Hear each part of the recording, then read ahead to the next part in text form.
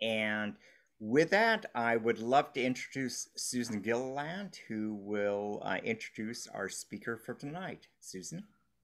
Thank you, Ron. Well, we're really pleased to have Dr. John McCormack with us tonight. Dr. McCormack is director and curator of the Moore Laboratory of Zoology and an associate professor of biology at Occidental College. John received his PhD in ecology and evolutionary biology from UCLA and his undergraduate degree from the University of Arizona. Dr. McCormack studies the evolutionary history of birds and other organisms with genomic data.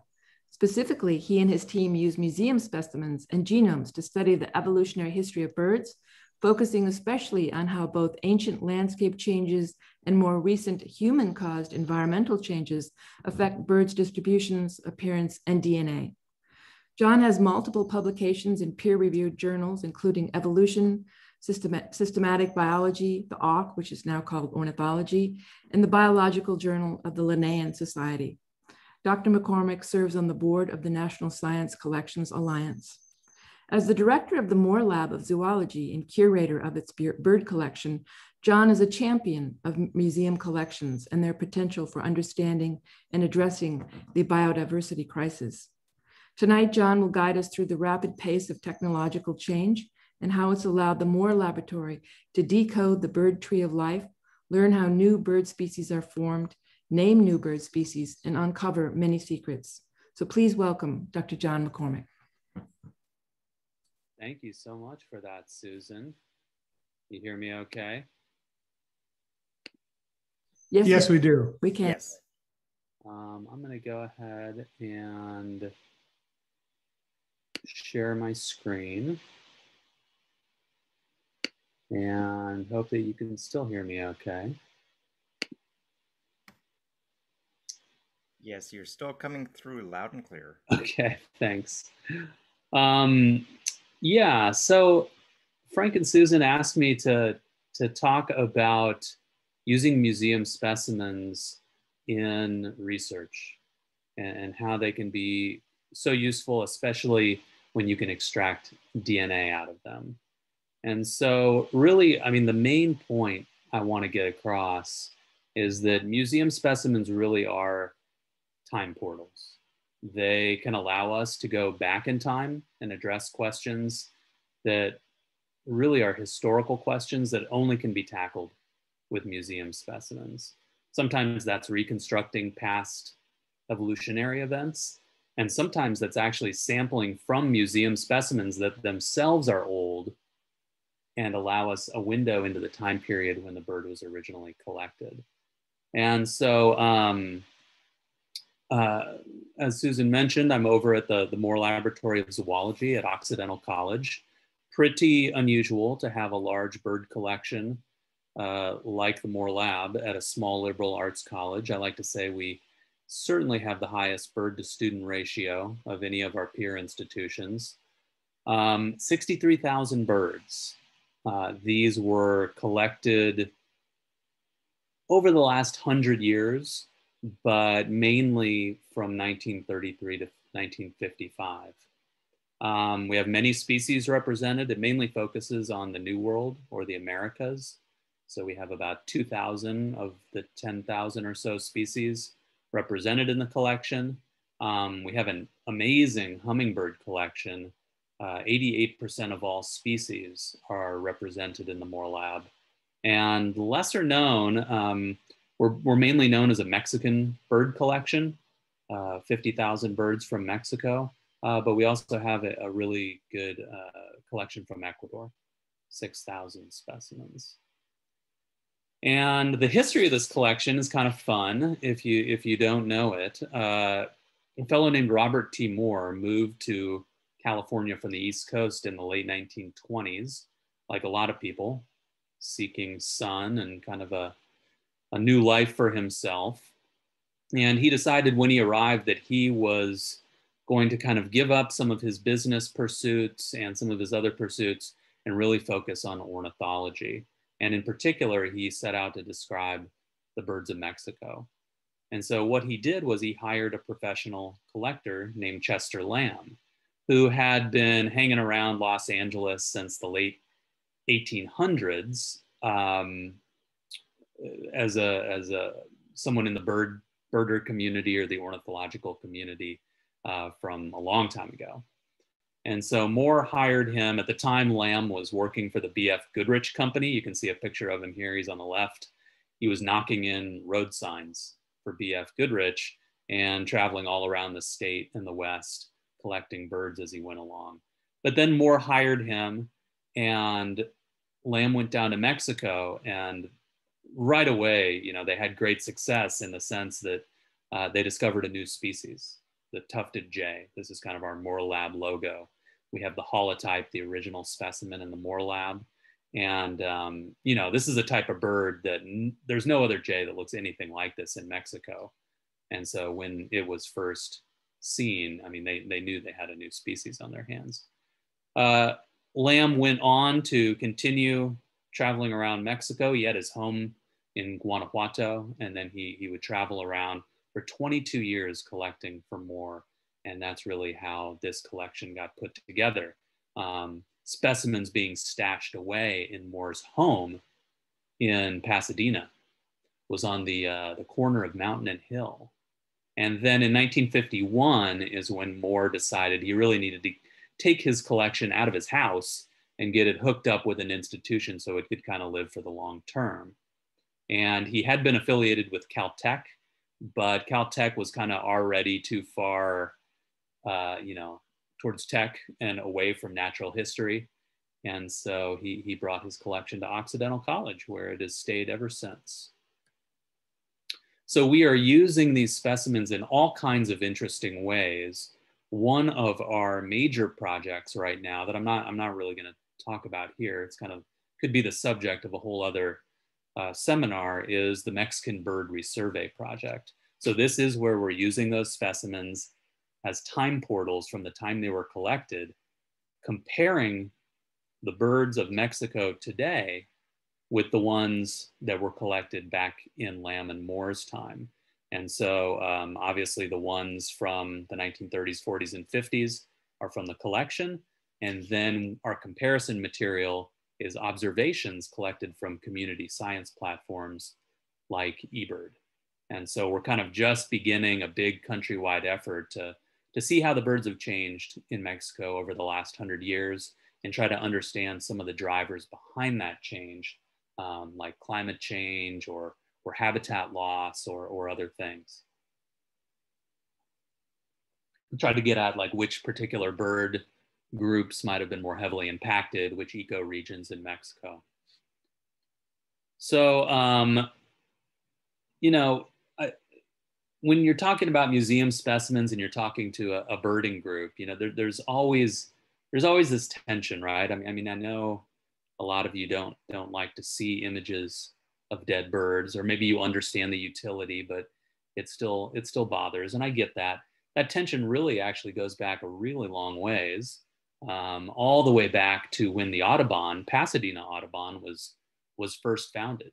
In fact, before the Audubon was founded here, um, there was an entity called the Cooper Club, and they were ornithologists who were really into collecting and describing new birds, new species, new subspecies.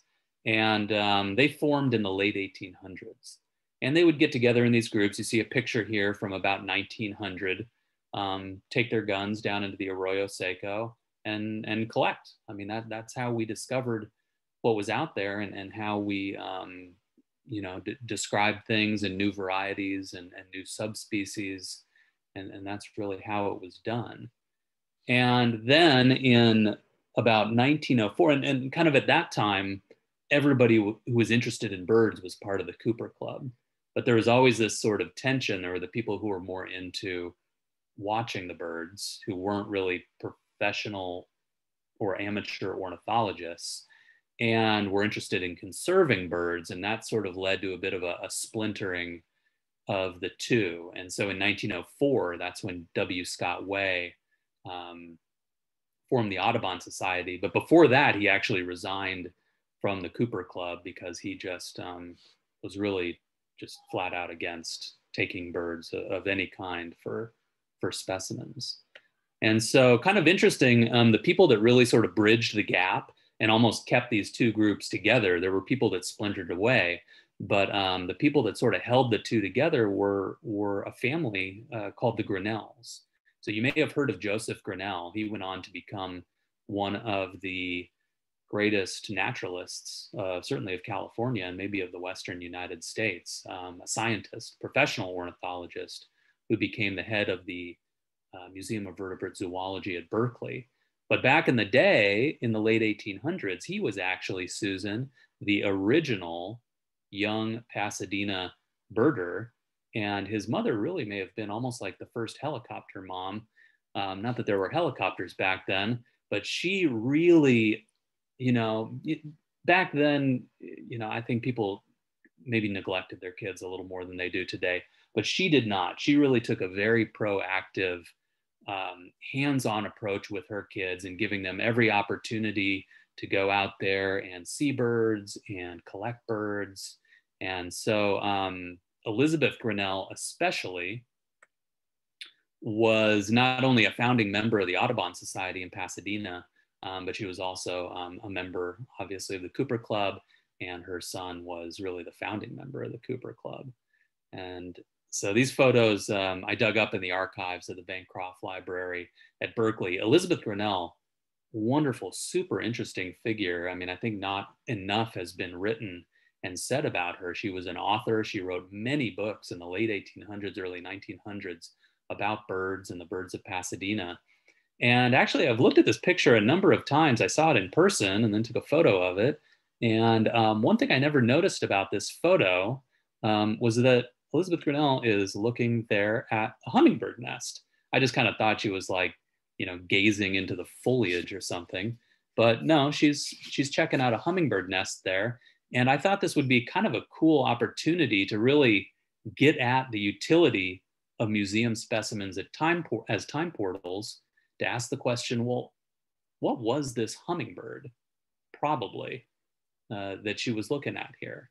So I don't know if we have the, yeah, I guess we have the chat feature enabled or we got Q&A. Maybe we don't need to like do a, a call and response, but maybe just in your head, um, you know, ask yourself what you think, what species do you think this hummingbird was?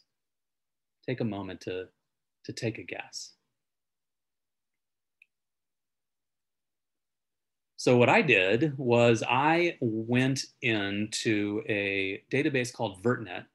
This is a database of all US bird collections. These are specimens. And I narrowed my search down to, um, you know, trying to figure out what were hummingbirds that were breeding in Pasadena around the year 1900. That's about when that photo was taken. And so I limited the search to hummingbird specimens between 1870 and 1920. And I selected for June only, uh, cut out everything else to try to get at breeding hummingbirds. And then I limited my search to Los Angeles County and then only localities that had Pasadena. So I did a really, really restrictive search. And it returned 36 hummingbird specimens. And uh, Let's see what the answers were here.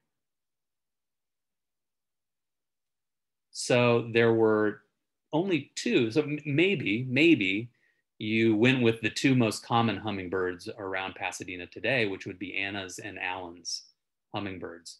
But it turns out that neither of those species was particularly common down kind of in the city of Pasadena back in the day. Uh, so only a couple Anna's hummingbirds collected and actually, Anna's hummingbirds tend to nest a little bit higher up than that bird was seen. And so, uh, much more common specimens were black chinned hummingbirds and Costa's hummingbirds, which, you know, it's kind probably a little bit surprising. Both of those nest a little lower in the foliage. And so, uh, you know, th- this bird that Elizabeth Grinnell was looking at is as likely to be a Costa's or a black chinned uh, as it was anything else. And so this is just, you know, I, I put this together just a couple days ago because I thought it'd be fun and really get across the ability of museum specimens to to be able to take us back in time and answer historical questions. Um, you know, again, a whole seminar, we could talk about the spread of Allen's hummingbirds as a breeding bird in the interior of Los Angeles. That's actually a pretty new phenomenon as sedentary, non migratory Allen's hummingbirds moved over from Catalina Island and then began to, to spread all over. Before that, in Elizabeth Grinnell's day, Allen's was mainly uh, just a, a, migrant that was passing through. So, um, okay, that's a little bit about just museum specimens in general, the specimens themselves, when and where they were collected. Now I want to dig a little bit more into the idea that specimens have DNA that's contained within them, and then what we can do when we extract that DNA out. So I'm going to play a little clip for you here. This is from a movie, uh, a short video um, we put together that's about the Mexican Bird Resurvey Project. Uh, you can look it up on the internet or on YouTube. Very easy to find if you put in records of change. Um, it's a really well produced uh, video.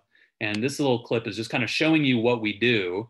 There's Chester Lamb uh, looking over Whitney from the Moore Lab as she takes a knife to one of his precious specimens, cuts off a little piece of the toe, and then places it in a tube to basically dissolve it and get little tiny broken pieces of DNA out. And then we take that DNA over to um, our new genomics center. So we've just gone through a, a, big remodel at the Moore Lab, and we kind of have our twin um, areas now. We've got this sort of vintage old bird collection, and we have this super new modern genomics center right next door. And so you take that little toe pad clipping, you bring it over to this lab, and you start the process of extracting and sequencing that DNA. Um, this whole idea of getting DNA out of museum specimens is not really that old. Um, the very first DNA anyone got out of a museum specimen was from a, a quagga. It was a, a now extinct subspecies of the zebra in 1984. So this pelt was in a museum, about 100 years old, and um, they had to take kind of largish, much larger quantities than, than we took of that little toe pad to get enough DNA to be able to work with.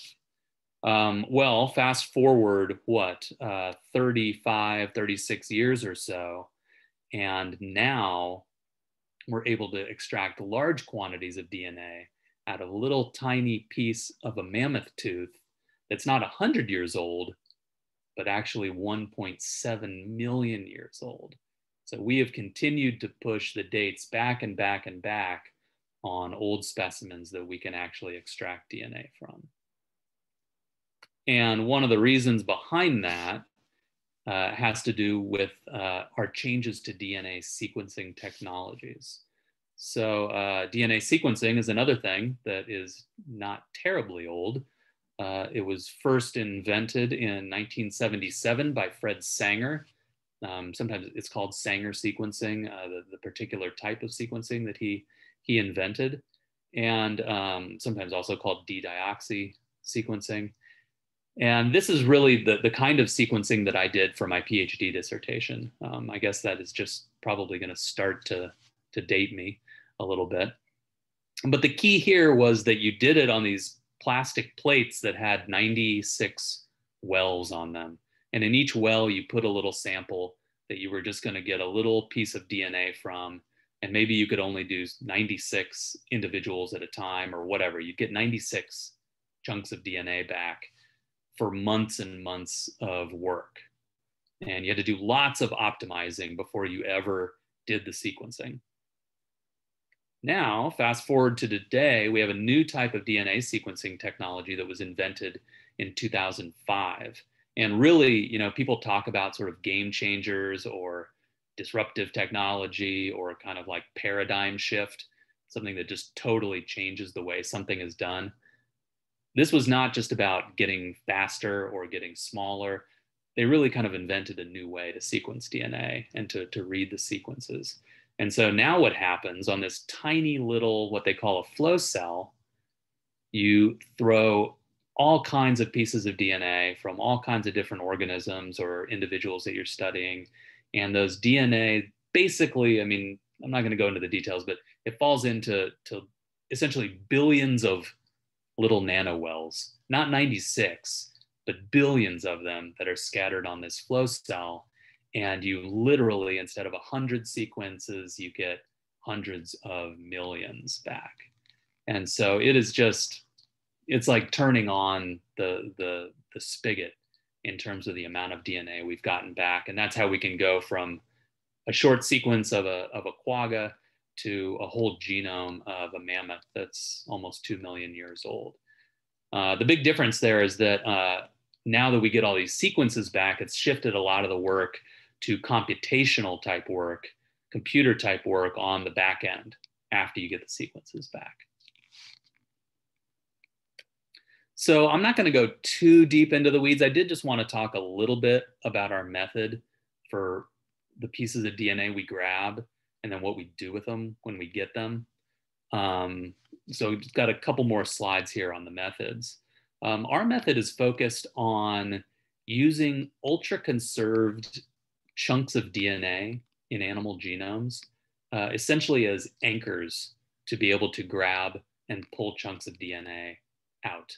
So we're not dealing with the whole genome because it's just too big, it's too crazy, it's too complicated. We don't want to deal with all that. And so we've decided we just want to pull little pieces out. And so it's kind of fascinating. Um, the probes were designed, this is by uh, my collaborator, Brant Faircloth, who's at LSU now. Um, we call these UCEs, ultra conserved elements. And if you align the genomes, the genomes are out there of like the lizard and uh, a couple birds, you'll find these stretches of DNA that don't differ at all between those species, even though they're, you know, a lizard and a bird are really, really uh, divergent from each other evolutionarily. Um, there's these certain chunks of DNA that just don't seem to have evolved at all. And people are still kind of trying to figure out exactly what they do and what their purpose is. Um, we don't really care so much what their purpose is we just design little probes off of them that act as anchors. And so you find one of these UCE regions, you design a probe that is essentially, think of it like a little magnet. And then you can throw that magnet in with any other bird you might be interested in studying and yank that little chunk of DNA out from every single individual or every single species. And so we do that with um, 5,000 different regions. And these regions are about a thousand base pairs long. And so that ends up giving us about 5 million um, regions of DNA to look at. And now just to talk a little bit about what we do with that DNA when we get it. Um, so perhaps you noticed, if you know your, your species designations, that these are not birds, they're frogs in the genus Rana. So just ignore that for the moment, right? It's all Latin to us, so just assume these are birds. Um, here's DNA sequence data. Assume this is one of these chunks of DNA that we've managed to yank out. And it's all the same chunk for five different birds slash frogs. We start looking at where they share mutations. And particularly, we're looking for what we call shared novel or derived mutations. And so when we find a bunch of them that link two individuals or two species together, we then put those close to each other on the tree of life. And so here We've got C's and C's, A's and A's that differ from the G's below or the T's below. And so we want to put these two species close to one another and say that they share a recent common ancestor. And then we can also do that in a few positions here to say these two probably have a recent common ancestor.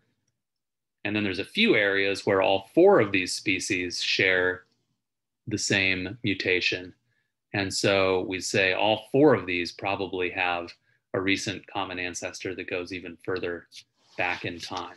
So that's really, um, it's a bit more complicated than that. There's all kinds of little uh, nuances and, and problems that arise. But that's the basic idea for how you go from DNA sequence data to starting to build um, the tree of life.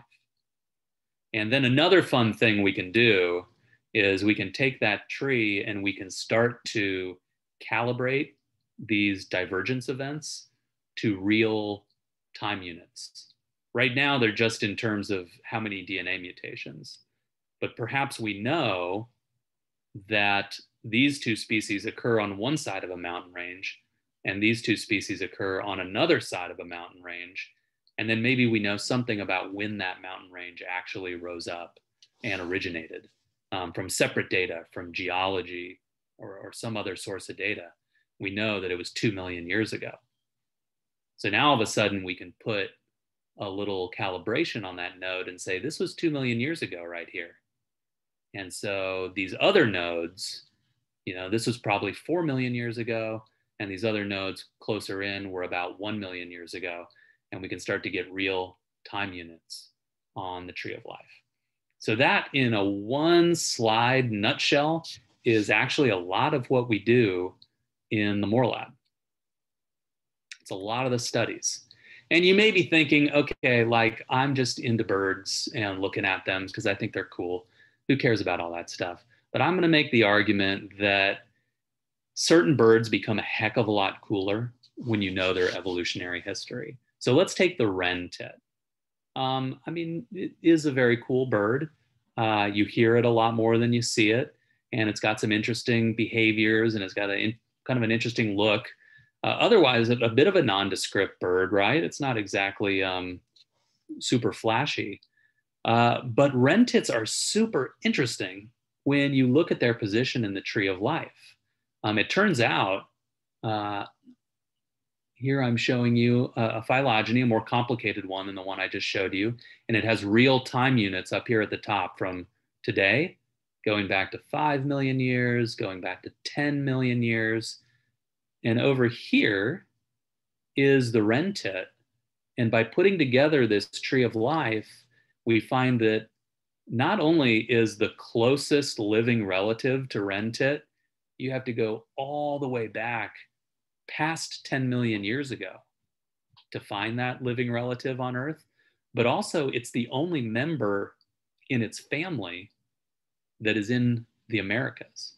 All the rest of its close relatives on Earth in this family called Paradoxornithidae are, um, are elsewhere in the old world. And so that makes the wren tit really cool, right? Because, I mean, something happened for this species to be in the Americas. Either it was some crazy dispersal event where it made it over the Bering Strait or over the ocean somehow and made it over to the Americas 10 million years ago, or almost just as cool, it's the sole survivor of a bunch of other species that were in the Americas, but they all went extinct except for the wren tit and the wren tit is just kind of holding on. And so I don't know. For me, that makes the wren tit a whole lot cooler when when you see it in nature, and makes some of its intriguing qualities um, a, a, lot more understandable. Um, it also kind of becomes important for conservation. Uh, these phylogenies, trees, tree of life, can can uncover new and interesting relationships uh, tell you about one here, the Hawaiian honey eaters. So uh, there were birds in the Hawaiian Islands that were called honey eaters because they looked a lot like birds that were called honey eaters that were in Asia. And honey eaters are cool. They have these interesting tongue morphologies that uh, allow them to slurp up and soak up nectar from flowers. And um, the honey eaters in Hawaii have it. The honey eaters over in um, Australasia and Asia have it as well. And so they were all, all, all different, but all considered to be honey eaters in the same family. And then one day, uh, we used DNA to put together one of these trees of life. And we found, in fact, that the true honey eaters from New Zealand, Australia, Samoa were, uh, let's say, down here in the Tree of Life. kind of near some other things that are found in Australia. But these so-called honey eaters from Hawaii were not closely related to them at all. They were in a totally different part of the tree of life, actually um, kind of more closely related to things like waxwings, like cedar waxwing or Phainopepla. And uh, in fact, these Hawaiian honey eaters were a whole new family. Um, they were so divergent from everything else uh, that they named them the Mohoidae. And that family on the Hawaiian Islands uh, was like 14 to 17 million years old before it was related to anything else uh, on Earth. And so um, this is a great example with these convergent morphologies, what we call convergent evolution. Similar lifestyle, similar niche, similar thing that they're feeding. So even though they're not closely related, they sort of end up looking similar and throw people off for many years until we look at the DNA. So the sad story here is that the only reason we were able to get DNA from these Hawaiian honey eaters was from museum skins because um, the description of this new family, the Mohoidae, was actually also their, their epitaph. Um, they're entirely extinct now, um, driven extinct by a lot of causes on the Hawaiian Islands, including avian malaria, habitat destruction. The very last sighting of a Hawaiian honey eater was the Kauai o'o in 1985.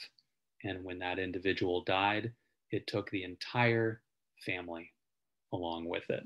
So um, that's a sad story, but I think it's another story about why understanding a little bit about evolutionary history and these uh, bird bird tree of life is is enhances our understanding and appreciation of birds.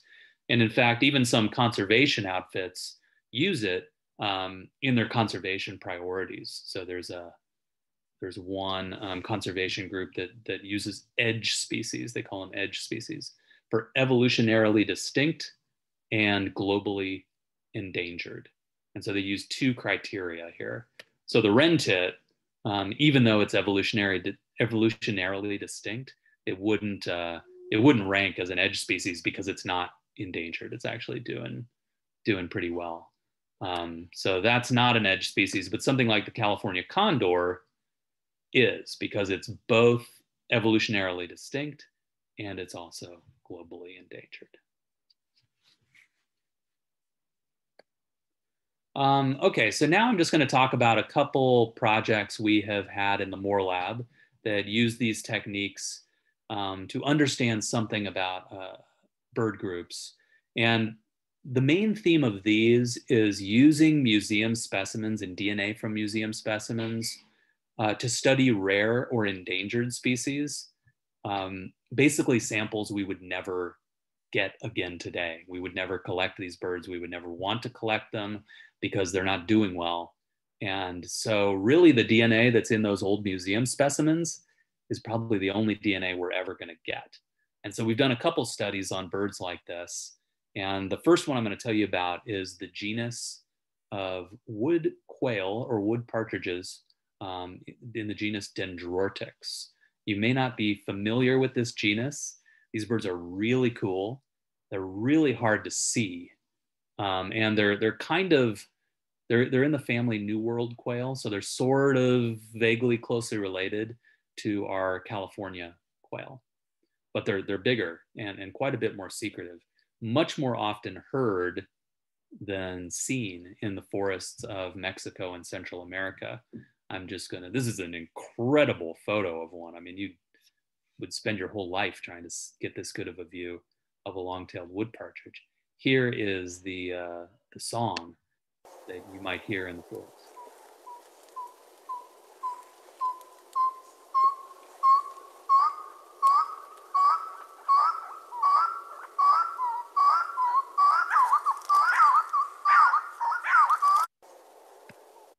So very cool birds. We um, used entirely museum specimens from the Moore Lab to put together this little evolutionary tree of the three described species in this genus. So you have the, the one I was just showing you, the long-tailed wood partridge that is distributed around several highland regions in Mexico here in the yellow. And then you have the bearded wood partridge that is in the green. And this one actually is endangered, very narrow geographic range and um, declining populations. And then another species over here in the purple that's down in, um, in some of the countries of Central America.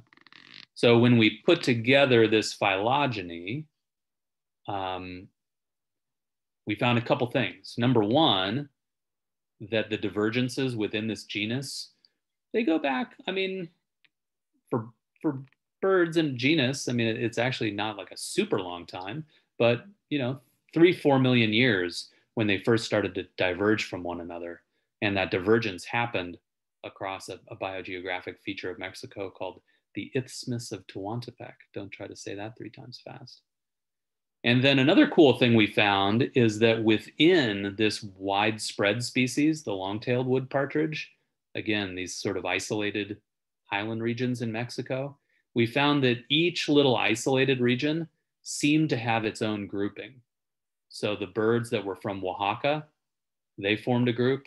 The birds that Oaxaca's down here, the birds from Guerrero, they formed a group. And then the birds from Mexico and Puebla up here, they formed a group. And so that suggested that there were also some kind of novel and interesting evolutionary lineages uh, within this one species.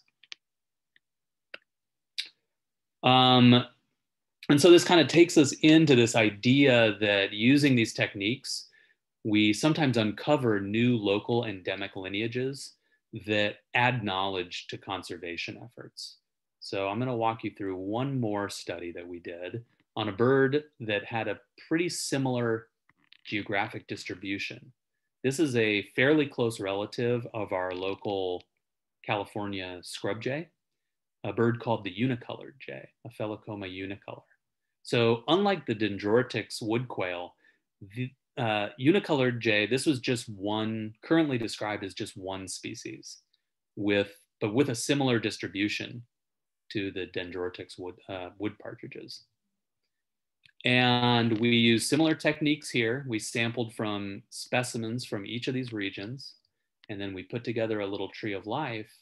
And we found again that each one of these regions with different symbols fell out into its own evolutionary group, its own evolutionary lineage. And what you may start to notice is that some of those match up with what we found in Dendrortyx. For example, Oaxaca here in the blue dots uh, is a distinct evolutionary thing. Uh, that one is, I think, down, down here. So if we then start to combine the results of many different studies, it allows you to start to draw broader conclusions, not only about evolution, but about conservation priorities. So for example, um, you have this break, this evolutionary divergence that happened across the Isthmus of Tehuantepec in both species about 3 million years ago. So that clues you into the idea that something interesting may have happened. This geographic barrier may have in fact really formed um, about 3 million years ago, or maybe there was some sort of water inundation that happened. This is actually a lowland area that divided these two areas. Um, another area that, that agreed between the studies is that you have endemic local lineages in Oaxaca, in Guerrero, and also in the Sierra Madre Oriental, and then in regions to the east of the Isthmus of Tehuantepec that are each about one to two million years old. And so, again, this just sort of clues you in like these are little epicenters, little mini epicenters of biodiversity creation. And you might want to think about starting to protect them. If you were to just consider the unicolor jay one monolithic species, you're like, okay, they're kind of everywhere, they're doing well, um, not that interesting. But all of a sudden, with this kind of a study, you're like, wow, there's these little distinct things that are popping up in each of these places.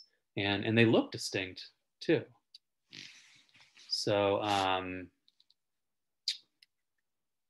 and, and then we can also, one of, one of the things in the Moore Lab that we're always quite interested in is then trying to figure out exactly why these divergences happened. So in the case of Dendrortyx and the unicolored jays, um, it seemed that it was probably more habitat changes and fragmentation during the ice ages over the last two, two and a half million years that caused these divergence events and, and new lineages to form more than things like mountain formation, which was much longer ago. Okay, well, this always gets people thinking about that ever murky topic of what really constitutes a new species. And so um, there's a lot of ways you could uh, describe and, and, and criteria you could use to make a case that these lineages might be separate species instead of just being subspecies. Uh, some people use what, what we call the phenotype or the appearance of the bird. So in the case of unicolored jays, each one of these did sort of have a, a you know, they, they look kind of the same, but they each had a different shade of color and differences in their tail length and things that made them unique. Um, other people want to look at just the phylogeny and look for these distinct lineages. And in the case of unicolored jays, you, you find them.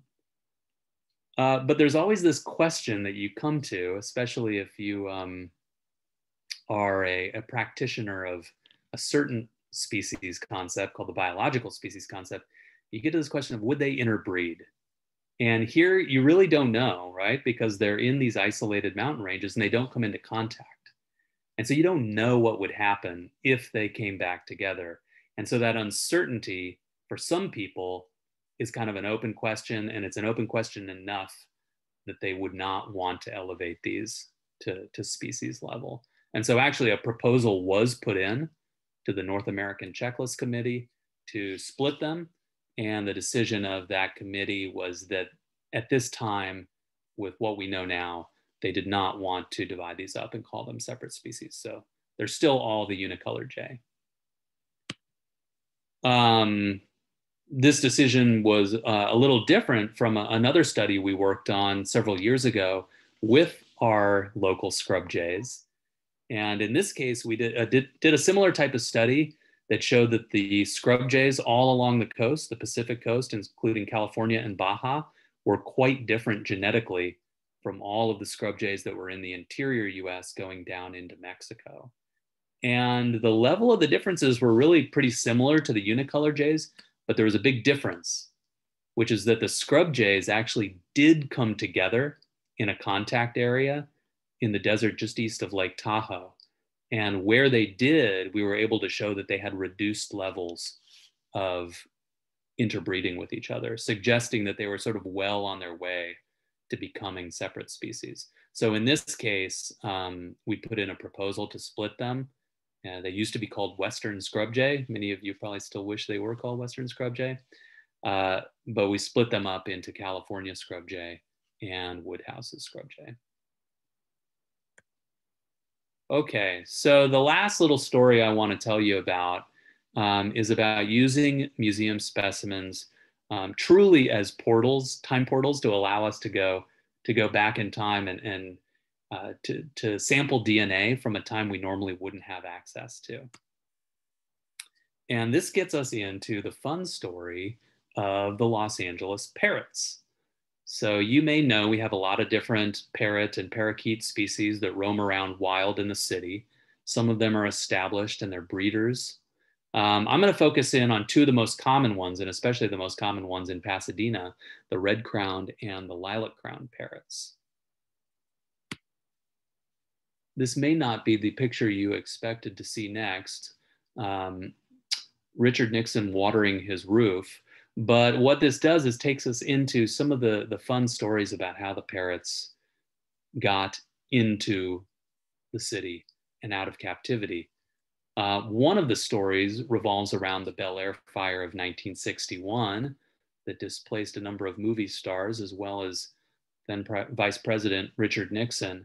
And there were also a number of aviaries in the neighborhood that apparently their owners opened up as the fire closed in and released a bunch of yellow headed parrots into the neighborhood that were seen for a long time afterwards.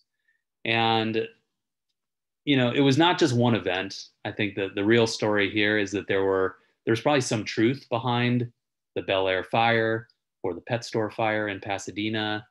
Um, but even before the Bel Air fire and before any of these other incidents, local fish and wildlife were noticing persisting flocks of parrots, um, even back into the mid 1950s.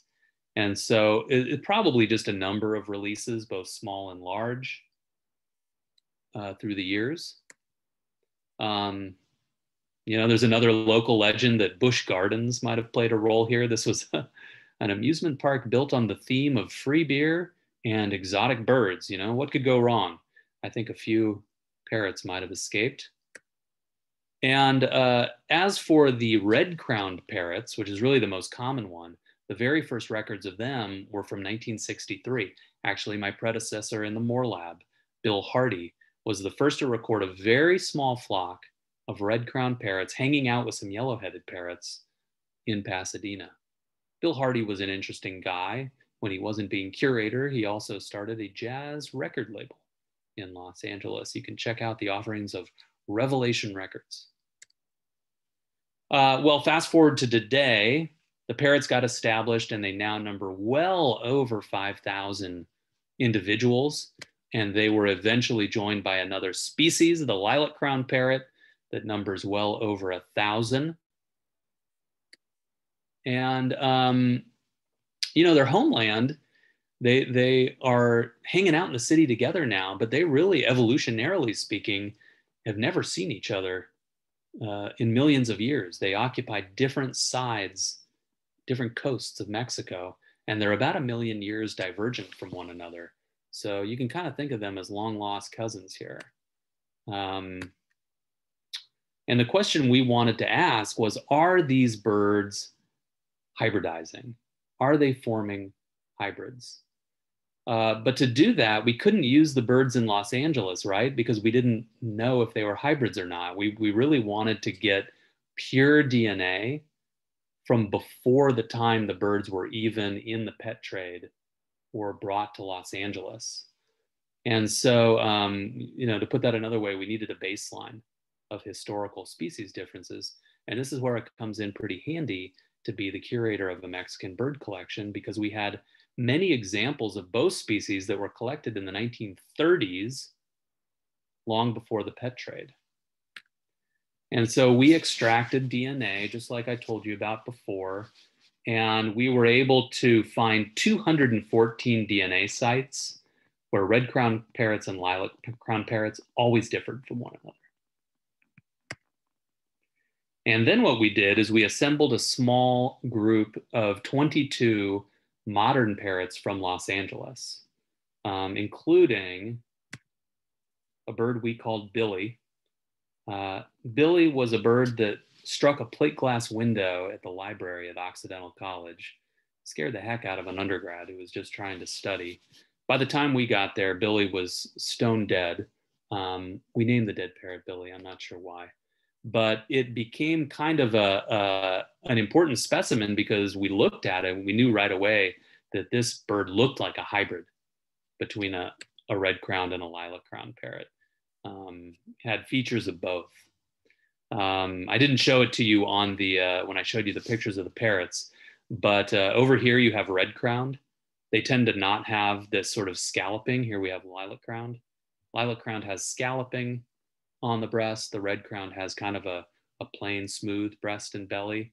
And then the red crowned has more of a cherry red, where the lilac crowned has more of a, a maroon red. And so Billy had elements of both. What I'm showing you here is kind of like a genetic survey. All of these birds on the bottom are, these are individual birds. And then each bar is how much DNA it has from lilac crown parrot and how much DNA it has from red crown parrot. And what I'm showing you right now are the ones we sampled from the 1930s in Mexico. So four lilac crown parrots, and of course they're pure, and four red crown parrots, and they're pure. And then I'm going to show you when we told this computer program, tell us what Billy is. Billy came out as almost like a 50 50 hybrid. And then when we filled in the rest of the parrots, we found something interesting. There weren't a lot of birds that were like Billy. There were a few others that were like pretty serious hybrids, but most of the other ones, let me just make them appear here again. Most of the other ones were like nearly pure red crowns or nearly pure lilac crowns. But interestingly, they were never totally pure. Every single bird we sampled had like a little sliver of DNA from the other species. So just to kind of sum that up really quick, um, you know, the museum samples were so important in allowing, uh, allowing us to establish a baseline. The two species were really genetically distinct in Mexico. And in SoCal, hybrids do exist. Um, they're not super common, but all of the parrots do have like a little sliver. So it's kind of an interesting and sort of a nuanced story. And it plays into conservation because both of these species are critically endangered in Mexico. This is an iNaturalist photo of a red crown parrot from its native range over in northeastern Mexico. And some speculate uh, because of the pet trade and because of habitat loss that there may be more of the parrots in Southern California than in Mexico. And there's even this sort of whimsical idea that we might even harbor almost like a rescue or a just in case population here in Los Angeles. But our study cautions that, you know, a lot of these SoCal parrots are like close to pure, but they're not totally pure. And so um, I think what we need to do is really start doing some official, official monitoring of the parrots in SoCal. Kimball does a great job with some of these censuses, but um, you know, maybe officials need to, to start taking a look as well.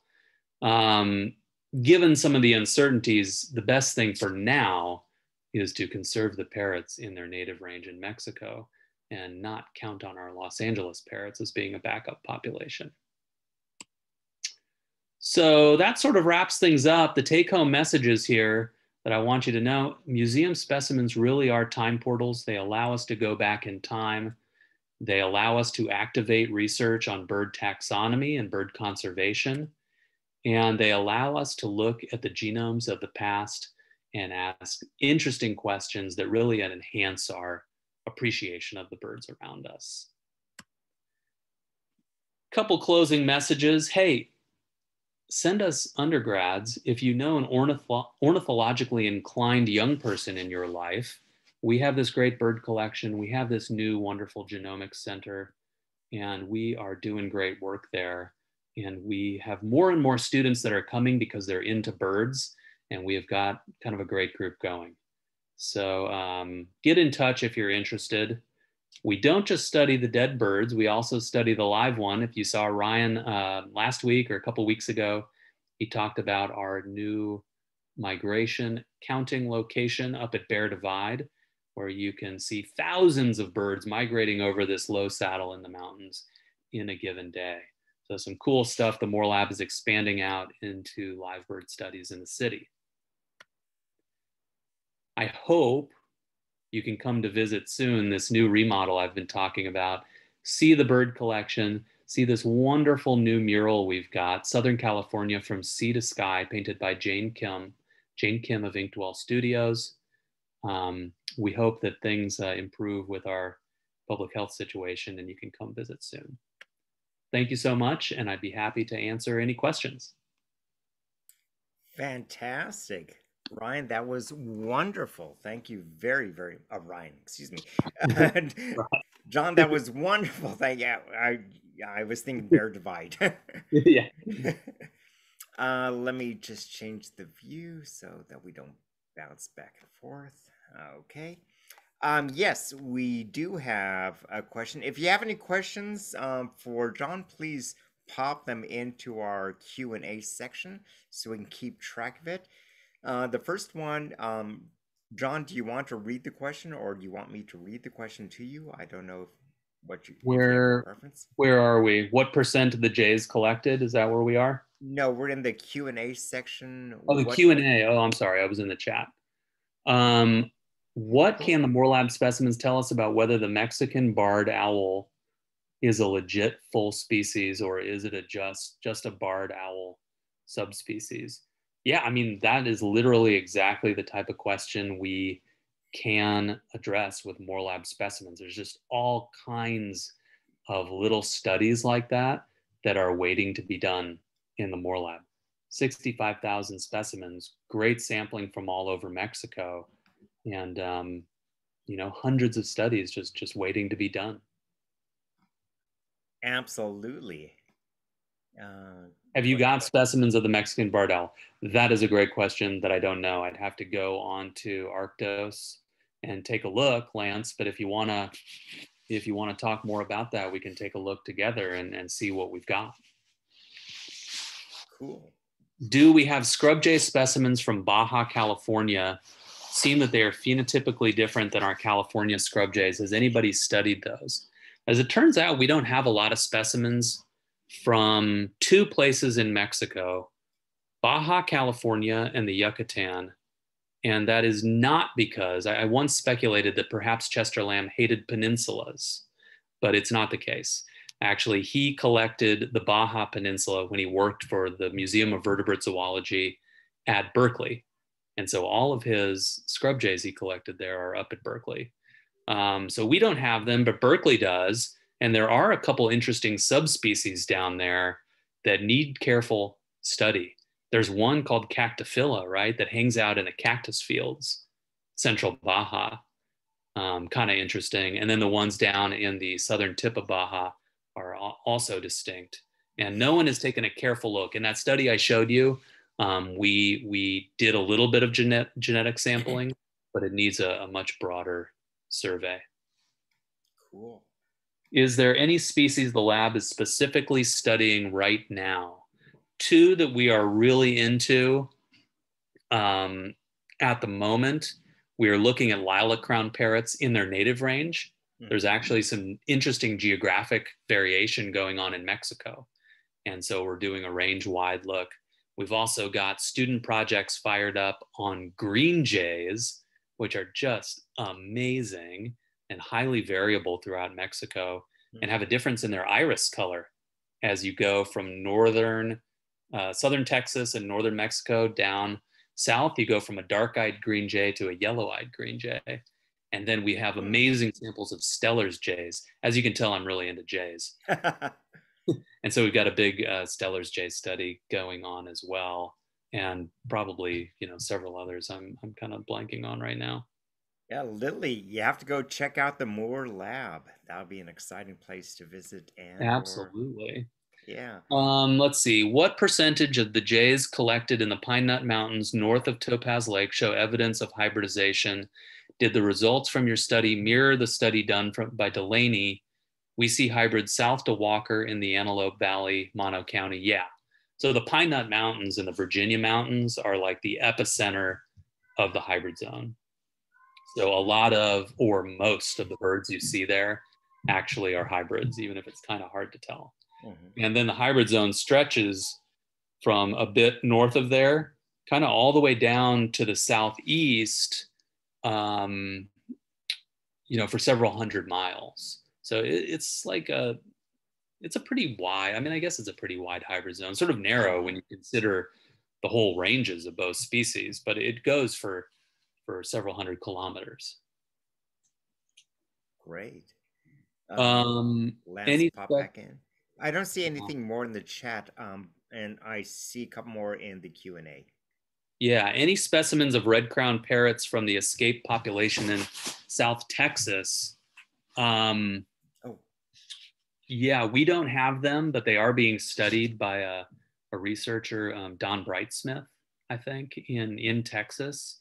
And some people think actually they might not be escapes, but it might be a natural range expansion. And, and that's something I think they, they hope to get at with genetic data. Um, green jays also are expanding their range north in southern Texas, and uh, as well as a bunch of other species. Um, Lance asks, "What's the most numerous species in the Mexican part of the Moore Lab collection?" Yeah, we have scads of acorn woodpeckers, um, northern flickers, Steller's jays, I'm trying to think of some of the other ones that just go on for trays and trays. Um, and these are just so ripe for for great projects, right? Because you can get really good sample sizes. Um, you know, they were collected from you know over the course of 30 years, right? Uh, just a few from here and there from all over. So this didn't like wipe out whole populations. Um, but it really does allow you to get a, a nice sample size and really get at fine scale geographic variation mm-hmm. and identify these local endemic populations. Cool, cool. And do you see the Q and A? Um, do you want John? John Dunn asks another question. Oh yeah, the Sumichrast jay has very different calls. It does, and we they they are distinct. The Sumichrast. These are the scrub jays that are down in like central Mexico. Okay. And they're distinct. They are distinct from the other Woodhouse's. They're currently lumped with Woodhouse's jay. They sound different. They are phenotypically different. And we took a look at the contact zone between them. And it was sort of broad enough that we didn't feel at this time there was a solid case for dividing them up into species. We may go at it later with a little harder data. Um, but for now, we, we sort of laid off it. Okay, cool. Lance popped in with another. Yeah, well, here Lance has got a whole other uh, study for us on the red crossbills. I mean, I, I know we have a lot of crossbills in the collection, but I really don't know much about the specific um, differences you're talking about here. But yeah, I mean, these, these are the kinds of questions. And this is really where birding knowledge sort of meets the Moore Lab and museum collections to be able to generate some of these novel um, and interesting questions that can be addressed with museum specimens. I mean, you're, you're the ones that are out there seeing these things and seeing these differences. And then we can go into the collection and, and see what we see with the DNA and with the appearance of the birds. Cool. And oh, and any other questions for Dr. McCormack?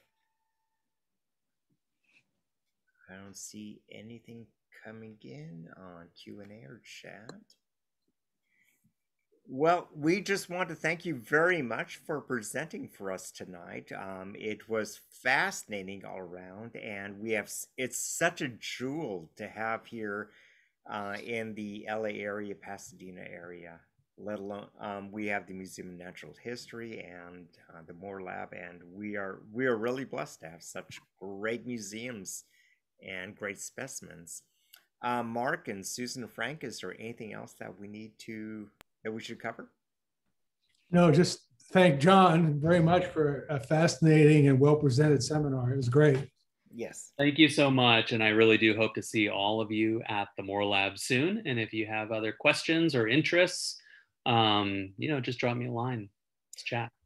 Yeah, absolutely. Yeah. And if you have any uh, any follow up questions, you can um, uh, drop them actually on our website at labirders.org. We have a contact us. Pop anything in there. We'll be glad to forward forward the question, and we'll um, put it up on our any answers on our site. Yeah, and let me just say, if kind of the place where we're most active right now, you know, if you want to see what's going on daily at the Moore Lab, um, our Instagram page is really where where we're doing a, a lot these days. So that's MLZ Birds on Instagram, so you can check us out there. What's MLZ stand for? Moore Lab Zoology. Oh, okay. MLZ Birds. Yeah. I was thinking more. I was trying to figure out how that came in with Oxy, but no. right. Well, fantastic. Thank you so much, John. And uh, John Dunn has another uh, oh. comment about uh, uh that common mergansers should be uh, looked at as well. Okay, where? where? In the Q in the Q and A. Okay. The common mergansers should be looked at. Well, I will first thing tomorrow go gander at them. Gander at the mergansers. That's right. There's a bird joke. Goosander at them. Yes. well, we'll end with a very bad bird joke. Ah, yes, of course. Bad bird pun. And oh, I'm sorry, we had another Q and A pop oh, in. Wow. And again, old world. Oh, old and... world. Oh, okay, okay. Yeah, we wouldn't have any old world stuff um, really in the Moore Lab, but yeah, I'll, I'll look at them anyways because they're beautiful. Absolutely, absolutely. Yeah. And uh, Calvin Bond asks one more question. I'm happy to happy to keep answering. Yeah. Do the Swainson's hawks that winter in Mexico differ genetically from the ones that winter in Argentina and Central America? Hmm. I have absolutely no idea, um, but it is yet another question that potentially could be addressed. As you can imagine, we don't have a lot of raptors in the collection, but we have more raptors in the collection in Mexico than will ever be collected again ever. And so um, we, we have not done much with them genetically. Mhm. And I'd say that's another group that's really ripe for study. You know, I fell asleep there for a second. Did you say you had a lot of Swainson's hawks in your collection? I don't know, um, uh, but we do have a lot of raptors. Um, Okay. Not, not like a lot, but more than will ever be collected again, for sure. Right. Uh, and we haven't done many studies on the on the raptors in the collection. Interesting. Interesting. Yeah. So there's a lot of oppor- opportunity for uh, undergrads, Calvin. Indeed. Absolutely. And oh, another Q and A. I'm sorry, they keep coming in, which is great. I apologize. Yeah. Yeah. Oh, Uh, studying fox sparrows. I'm I'm not going down the fox sparrow rabbit hole. Bob Zink already did that. Um, yeah, they're they're very different. But I'll, I'll just leave the existing work that is already done as sort of the the final word on fox sparrows. okay. Another question. Mountain pygmy owls. This is just like Well, the question is, mountain Definitely pygmy owl would be studies, I like another good one to check to see how it Oh, differs or not from yeah your we, pygmy we have yes yes yes. I mean this is one that we've had uh, we've done a couple forays into looking for um, just like differences in the size and and and you know bill and wing and tail of the pygmy owls and we haven't found anything super interesting in the phenotype but it's definitely ripe for study and i think what we haven't done is look at the dna and that could get really interesting we, we do we have a pretty sizable collection of pygmy owls. Oh, good, good, good. Yeah. How- How much does it cost to do sequencing for one species using your method of conserved DNA? It, it's pretty cheap. I mean, you know, like a study of, let's say, a hundred individuals, um, you know, is going to cost probably several thousand dollars in terms of sequencing.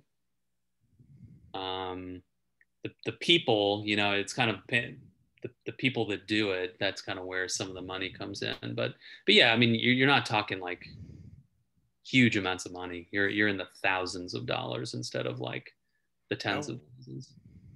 Wow, that's great. Yeah. Um, we have a question. As you probably know, Kimball has uh, quite a few volunteers that help um, help um, prepare birds, and also, do you welcome? Do you at the Mer- Moore Lab welcome volunteers? Yeah, yeah, we definitely do. Um, we kind of have our own bird skinning operation too, and always um, need volunteers there. Um, but also, you know, just uh, w- people that are interested can can come and we can talk and we can see if there's if there's a place for um, some volunteer work to be done. We have a library, we have an archives, all as part of the Moore Lab, and those are often fun areas to get involved with the bird collection as well. So um, I'd say just shoot me an email and we can start chatting. Things are a little complicated right now, of course, with access and things, but as as things continue to open, um, yeah, we can talk. Fantastic. John uh, asks another question. Genetic data, data needed for fox sparrow. Oh, it's more comment. Needed on fox sparrows, needed for near areas of context. Something's missing Sure. from Zink's study. Uh, uh, John, can you help me out? I'm not sure. Uh, yes, th- that that does need to be done.